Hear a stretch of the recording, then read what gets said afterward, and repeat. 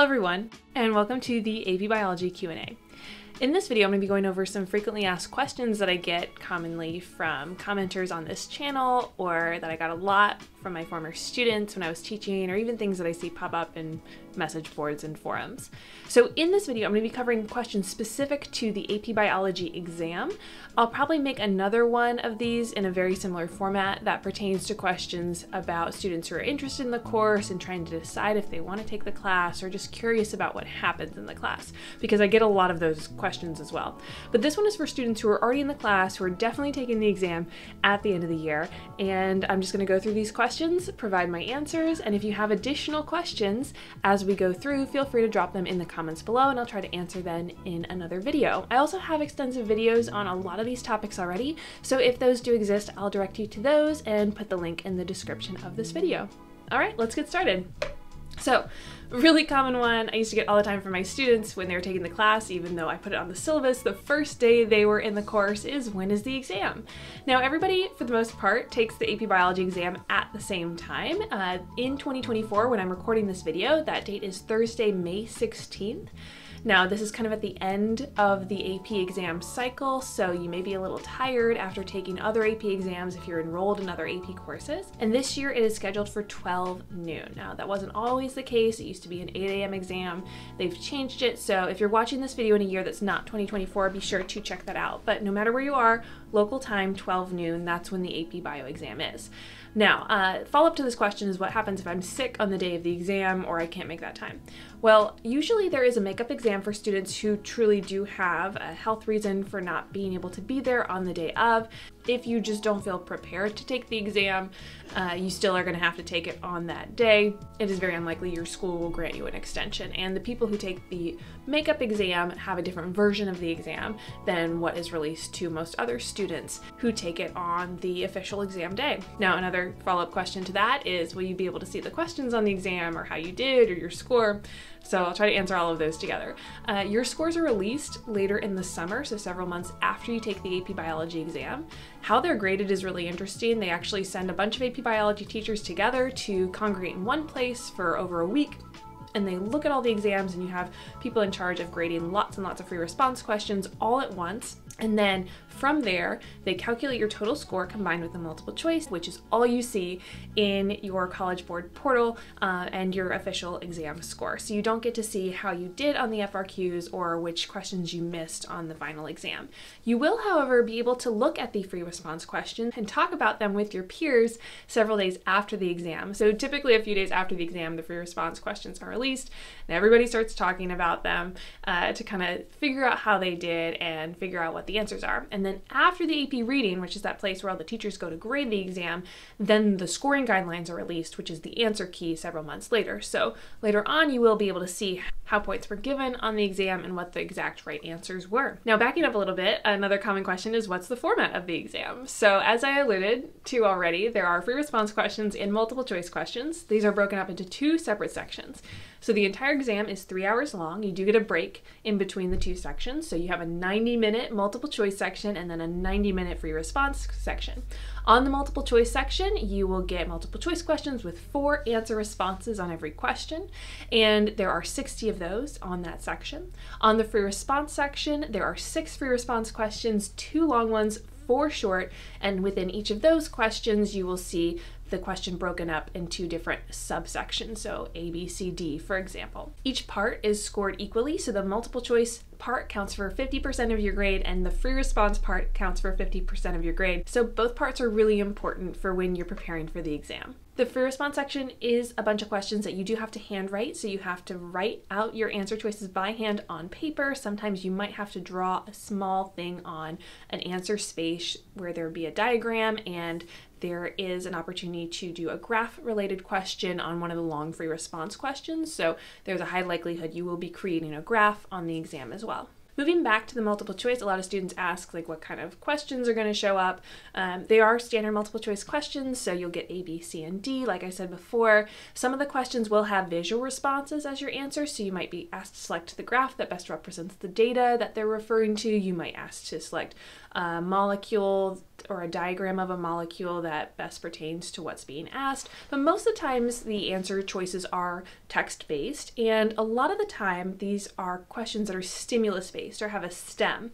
And this part of the question is something that you have to read or a diagram you have to look at that tells you about a specific scientific phenomenon, and then you use your knowledge in AP biology to answer the question. Sometimes there are hints within these stems that can help you better answer the question, but very frequently you will see a particular experimental setup where an experiment is described, you see a data table, you might even see a diagram or a graph, and then there's a set of several questions after that, several multiple choice questions that all pertain to that same phenomenon or experiment. It is very common on the AP Biology exam, both on the multiple choice section and on the free response se section to see questions that deal with topics that you haven't learned about, but you should still be able to answer correctly based on your knowledge of different concepts in AP biology or science practices. This is what can trip a lot of students up is seeing things that they've never heard of before, seeing vocabulary words for proteins that they have no idea what they do or why they're seeing this particular word on the paper, but it is meant to test your knowledge in a specific way. So if you see something you've never learned about before, don't freak out. It's part of the exam and it's meant to test you. Another question I get is Are there formulas to memorize? And there are formulas that you will probably need to apply on the AP Biology exam, things like Hardy Weinberg, chi square equilibrium, but you actually get a formula sheet provided to you on the day of the exam. So you should familiarize yourself with the formulas on that formula sheet before going into the exam so you know how to apply the formulas, but there really aren't any specific formulas that you have to have memorized for the exam. However, it is important to know what 2PQ means for example, in the Hardy-Weinberg equilibrium, if, if you've never used that equation before, it's going to be tough to apply it on the exam if you don't have any practice. Similar question is, do I have to memorize any labs for the exam? And the answer is no. There are no specific labs that you have to have memorized. You do need to know how to conduct a good experiment, uh, formulate an experimental question, identify a hypothesis, a null hypothesis, basically just general experimental design. You might be asked what a control is in experiment, but there is no particular lab that you were supposed to do in class that you will be tested on on the AP Bio exam, and that's really important. So you might have done different labs than another student did in a different state or at a different school from you, because in AP Biology, teachers are provided with suggested labs, but they can do whatever labs that they choose they think will best illustrate the concepts that you're learning in class. Now, everybody is tested on the same core curriculum. Uh, it's part of what's called the CED course and exam description, so you can actually look up all the content that will be fair game on the exam. I'll put a link to that in the description as uh, below as well. Uh, but none of these things are actually specific labs. So don't waste your time memorizing every single different variable that you did or performed in all of your labs throughout the year. Be more familiar with how to design a good experiment. Another question I get a lot is what is the best way to study? Uh, the short answer is active studying methods that are going to pertain to content that will show up on the exam. The long answer is I have a lot of videos covering uh, study tips and strategies for AP Biology. Uh, practice questions, flashcards, always good uh, active recall exercises, um, which leads us into our next question is where do I find practice questions? And there's a lot of places to look. The number one place is to review with questions from old released exams. Now, if you're studying for AP Biology now in 2024 or beyond, there are different practice questions available on the College Board's website that are in pretty much the same format that you're going to see on the exam coming up. Now, there are some slight variations year to year. They're actually breaking up some of the free response long text that you have to read, but the type of questions and the way they're written will be the same. So if you look at anything from 2020 and beyond, that should be the types of free response that are going to show up on your exam. There's also the College Board's online portal where your teacher can assign you practice questions and your teacher has access to released full exams that they may give you in class or they may allow you to practice on if you ask them. So it's always a good idea to ask your teacher if you can practice with the practice materials that that they have access to that you might not, or ask them to assign you more practice questions if you can get them straight from the source. If you're looking for practice questions that are not directly from the College Board, there's tons of places you can go. There's lots of review books out there. I have another video on how to choose a good review book and the one that might be the best fit for you.